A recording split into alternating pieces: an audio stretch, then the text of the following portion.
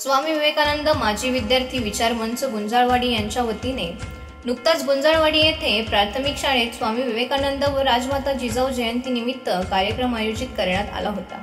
प्रसिद्ध कवी व कामगार नेते अरुण बोऱ्हाणे नारेंगावचे एपीआय अर्जुन घोडे पाटील अबोली कोऱ्हाळे हरिभाऊ वाईकर मंडलाधिकारी सिद्धेश ढवळे सरपंच युवराज शिंदे पवन वायकर सुजाता काळे आदी मान्यवर उपस्थित होते. सचिन मुळे सर यांनी कार्यक्रमाचे सूत्रसंचालन केले. याच बातमीचा आढावा घेतला आहे आयवन न्यूजचे प्रतिनिधी किशोर वारुळे यांनी. पाहूया.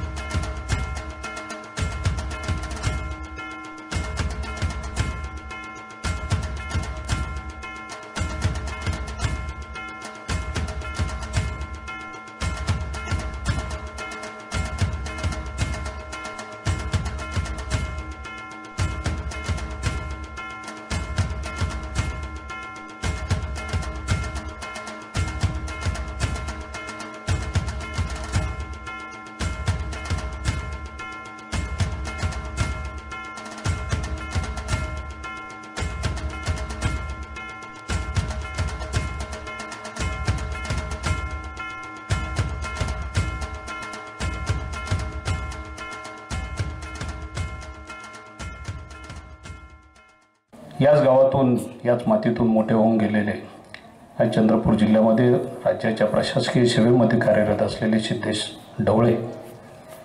या गावचे सरपंच युवराज शिंदे मुख्याध्यापक श्रीयुत नरसोडे सर श्रीयुत तळपे सर. व्यासपीठावरती उपस्थित उपस्थित असलेले श्रीयुत शरद शेठ वायकर.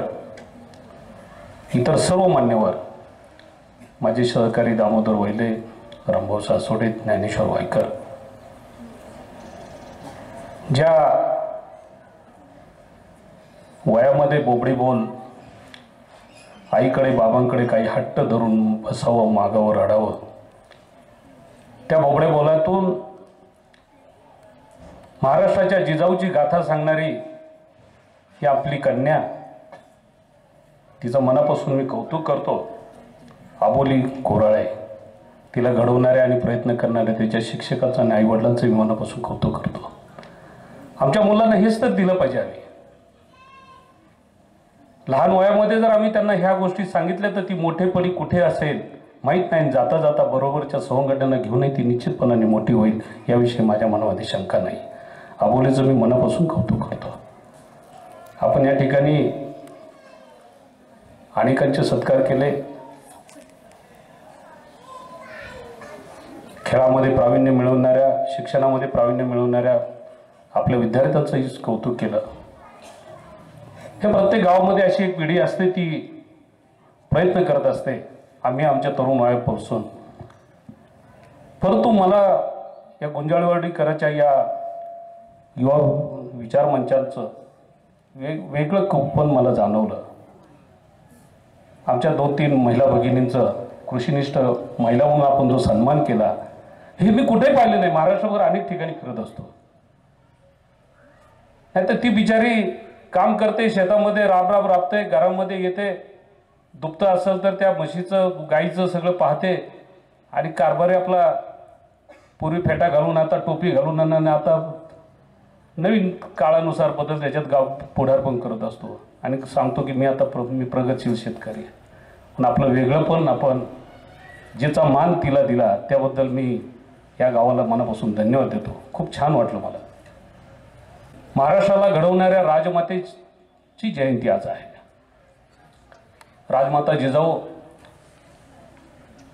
यांच्याविषयी आता आमच्या या बालिकेने सांगितलं आहे. स्वप्न पाहावं तर ते कसं स्वप्न पाहावं? अरे पुढचे हजार पाचशे वर्ष या महाराष्ट्राला आणि या जगाला तेज देणाऱ्या मुलाला आम्ही जन्म द्यावा. स्वप्न पाहावं तर असं पाहावं. दीन दलितांना गोरगरिबांना स्वाभिमानानं जगण्याची प्रेरणा देणाऱ्या मुलाला आम्ही जन्म द्यावा. स्वप्न पाहावं तर कसं पाहावं? निदड्या छातीनं शत्रूवरती आक्रमण करून त्याचा त्याला याच मातीमध्ये नेस्तनाबूत करणाऱ्या पुत्रांना आम्ही जन्म द्यावा. ह्या स्वप्न पाहणाऱ्या या राजमाता जिजाऊ आपण सर्वजण भाग्यवान आहोत. की याच शिवनेरीच्या परिसरामध्ये शिवनेरी गडावरती या तेजपुंज राजाचा जन्म झाला. आज शिंदखेड राजालाही बुलढाण्याजवळ आहेत. लाखोंची गर्दी त्या ठिकाणी असते. शिंदखेड राजाच्या जाधवराव घराण्यातील या कन्या अक्षरशः यात्रेचं स्वरूप त्या ठिकाणी अकरा बारा तेरा तीन दिवस त्या ठिकाणी चालत असतं. एकदा मी त्या ठिकाणी जाऊन आलो. या जिजाऊचा आदर्श इतिहासामध्ये काही पानं चमकली काही पानं दुमटली. आम्हाला दुमटलेली पानं देखील आता उलगडण्याची वेळ आलेली आहे. कोणती पानं आहेत? जिजाऊंच्या सुना जी आणि त्या जिजाऊंच्या नाथ सुना. या निमित्तानं मी दोन नावं फक्त आवर्जून आपल्या कानामध्ये आज घालून जाणार आहे. छत्रपती संभाजी राजांच्या पत्नी युवराजनी येसुबाई. आम्हाला फारसं काही माहीतच नाही. कदाचित मालिका पाहता का तुम्ही आता? ह्या येसुबाईचं कर्तृत्व इतकं मोठं आहे. मराठ्यांचा संपूर्ण इतिहासाचा अभ्यास केला तर या मातेचं योगदान येसुबाईचं. छत्रपती संभाजी सारखा एक निखारा हातामध्ये सांभाळताना त्याची पत्नी म्हणून तिला शांत करण्याचा हा शांत वारा. तितक्याच धुरंधर तितक्याच अभ्यासू आणि संयमी. किती संयम असेल शकतो? औरंगजेबानं छत्रपती संभाजी राजांची केलेली निगृढ हत्या खरं तर त्या हत्येनंतर हे स्वराज्य बुडवतं की काय? आणि बुडायला जमा अशा आविर्भावामध्ये औरंगजेब असताना येसुबाई निर्धाराने उभ्या राहिल्या. आणि रायगड वाचवला. किती दिवस? लढवला. आठ महिने रायगड लढला. पा छत्रपती संभाजीराजे. माझ्या भगिनींसाठी मला हे आवर्जून सांगायचं आहे. छत्रपती संभाजीराजे गेले त्यावेळेस त्यांचं वय होतं बत्तीस वर्षाचं. त्यांच्यापेक्षा सात ते आठ वर्षाने लहान असल्यानं ह्या येसुबाई. औरंगजेबानं त्याच्यानंतर त्यांना कैद केली. राजकैदी म्हणून. किती वर्ष त्या राजकैदी होत्या? एकोणतीस वर्ष. या देशाच्या इतिहासामध्ये एवढी वर्ष राजकैदी असल्यानं कोणाची नोंद अजून वाचनात माझी तरी आलेली नाही. पण तिथूनही त्यांनी पत्रव्यवहार चालू ठेवला. राजारामाला मार्गदर्शन केलं. मी पुन्हा डिटेल्स कधीतरी संधी दिली तर बोले दुसरं पान दुमटलेलं पान आम्ही उलगडलं पाहिजे. ते महाराणी ताराराणीचं. सांगण्याचा हेतू माझा थोडा वेगळा आहे. महाराणी ताराराणी राजाराम महाराज ज्यावेळेस गेले त्यावेळेस त्यांचं वय होतं एकोणतीस वर्ष. औरंगजेबानं खलिता पाठवला. तुमचे सासरे गेले तुमचे पती गेले तुझी जाव माझ्या कैदेमध्ये आहे. हे राज्य आता माझ्या स्वाधीन करा. तुम्हा दोघी जावांना मी पाहिजे ते राजे राजवाडे बांधून देतो. आयुष्यमध्ये तुम्ही त्या ठिकाणी राहा. हवं ते संपत्ती देतो. तिने लिहिलं औरंग्या या मातीमध्ये तुला आम्ही गाडू. रक्तानं लिहिलेलं हे स्वराज्य असं सहजासहजी तुला आम्ही देणार नाही तुला लढावं लागेल. चल पुढे. स्वतः कमरेला शिला बांधला ढाल तलवार घेतली घोड्यावरती स्वार झाल्या आणि या महाराणी ताराराणी लढत राहिल्या. किती दिवस लढल्या?